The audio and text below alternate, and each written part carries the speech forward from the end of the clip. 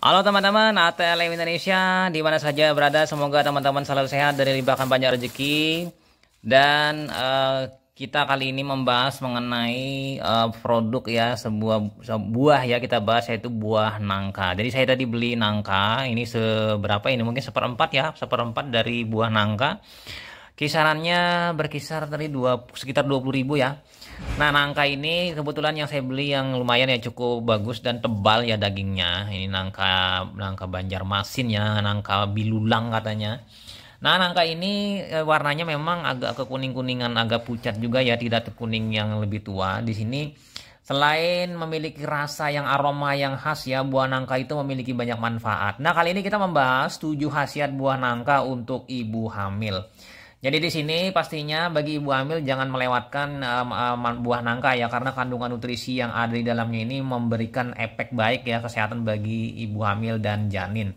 Dan pastinya ya mengkonsumsi nangka ini yang agak rumit sedikit adalah getahnya. Jadi potong dulu nanti kalau keluar getahnya dibersihkan ya dengan plastik itu lebih nyaman ya, setelah ter, ternempel atau terekstraksi di plastik baru kita ambil buah nangkanya.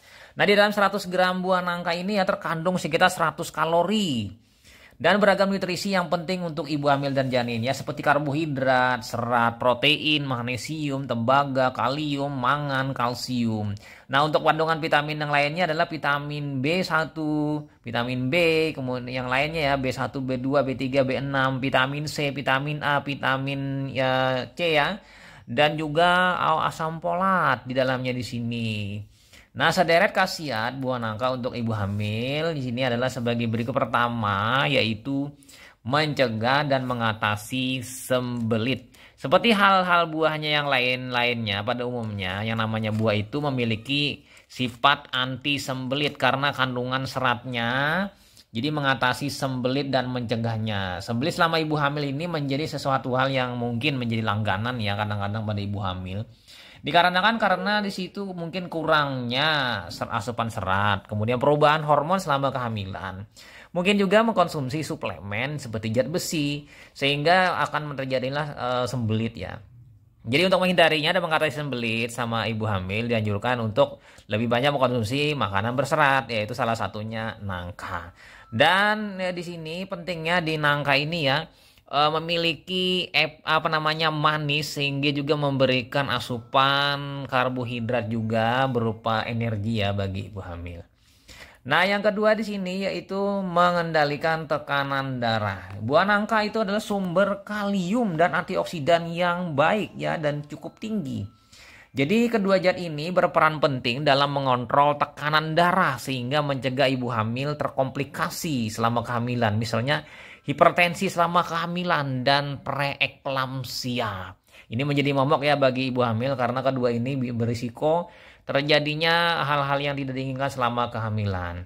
Oleh sebab itu bagi ibu hamil untuk menjaga tekanan darahnya yaitu dengan rajin mengkonsumsi uh, makanan bergizi dan memperbanyak memakan makanan uh, buah-buahan ya. Jadi mengurangi stres dan juga pastinya uh, di sini konsumsilah salah satunya buah nangka karena buah nangka ini banyak efek baiknya terhadap kesehatan ibu dan janin. Yang ketiga memberikan energi. Nah, di sini ya uh, tetap bugar dan tetap bertenaga itu adalah hal yang paling penting bagi ibu hamil. Jadi memenuhi untuk keperluan itu perlu kalori dan nutrisi seperti karbohidrat. Nah, karbohidrat di sini perlu asupan ya. Karbohidrat tadi dan untuk asupan itu salah satunya yaitu nangka. Nangka ini karbohidrat cukup ya dan efek manisnya ini memberikan asupan glukosa sehingga kadar gula darah di dalam itu lumayan ya stabil, tidak terlalu tinggi dan cukup ya. Nah di sini eh, nangka ini penambah energi ya bagi ibu hamil. Jadi akan kembali bersemangat dan kuat untuk menjalani aktivitas harian. Nah lanjut lagi ya teman-teman di sini yang keempat manfaatnya itu mengurangi keluhan kram kaki. Nah khasiat lain dari daun nangka pada ibu hamil, eh, pada nangka ya maksudnya ini mengurangi keluhan pada kram kaki. Karena pasalnya kram kaki ini merupakan salah satu keluhan yang cukup banyak dirasakan pada ibu hamil terutama pada trimester kedua dan ketiga. Jadi untuk menjaga dan meringankan keluhan tersebut dianjurkan untuk mengonsumsi makanan yang banyak mengandung kalium ya. Misalnya buah nangka salah satunya mungkin kiwi pisang dan melon. Nah lanjut lagi ya, yang kelima manfaatnya mendukung proses tumbuh kembang janin. Di sini karena Nutrisi yang lengkap, cukup lengkap dalam buah nangka dapat dikonsumsi dengan memelihara kesehatan tubuh dan ibu hamil dan lainnya. Jadi buah nangka ini baik ya untuk mendukung tumbuh kembang janin. Nah, di samping di situ juga ya melengkapi nutrisi dengan mengkonsumsi makanan sehat bergizi. Nah, pastinya ya. Jadi di sini uh, penting ya karena di dalamnya ada kalsium yang mampu membantu pertumbuhan tulang ya kan salah satunya magnesium juga misalnya folat nah untuk uh, otak dari janin. Kemudian yang nomor 6 yaitu mengontrol berat badan selama hamil.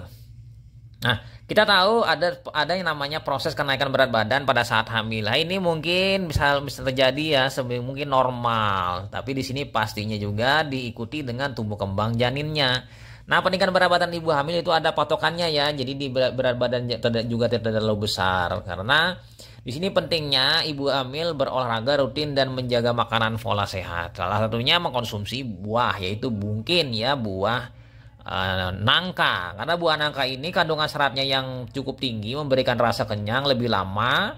Jadi tidak uh, banyak uh, upaya bagi ibu-ibu hamil untuk mengkonsumsi makanan berlebihan, misalnya mengandung yang lemak atau berkalori tinggi. Dan di sini dengan adanya serat yang cukup tinggi mampu menghambat penyerapan kolesterol ya trigliserida. Jadi ke, ke apa namanya proses penyerapan itu terhambat akibatnya tidak menyebabkan ibu-ibu hamil itu memiliki berat badan yang berlebih dan menurunkan keinginan ya ibu hamil untuk mengambil makanan yang tidak sehat. Lanjut ya, yang nomor 7 meningkatkan daya tahan tubuh. Nah, manfaat yang ketujuh ini karena kandungan antioksidan, protein, vitamin A dan vitamin C dalam buah nangka itu bermanfaat untuk meningkatkan daya tahan tubuh. Dengan imunitas tubuh yang kuat, maka ibu hamil akan kuat melawan bakteri, virus dan eh, penyebab penyakit ya sehingga tidak mudah sakit. Dan pastinya lagi ada mana di sini ya ada apa namanya hal yang paling penting di sini jangan lupa di sini uh, apa namanya tidak dianjurkan ya memakan buah nangka ini pada ibu yang hamil dengan diabetes. Mungkin karena di sini indeks uh, gula atau hiperglikemik eh, indeks glikemik yang cukup tinggi dapat membuat kadar gula darah mungkin melonjak. Jadi kalau ibu hamil boleh uh, mengkonsumsinya yang dengan diabetes tidak terlalu banyak secukupnya saja Oh ya, kira-kira itu saja teman-teman sebanyak 7 manfaat um, buah nangka bagi ibu hamil. Sampai jumpa di video selanjutnya. Semoga tetap sehat selalu dijaga dan pastinya sehat adalah investasi yang mahal. Sampai jumpa di video selanjutnya. Bye.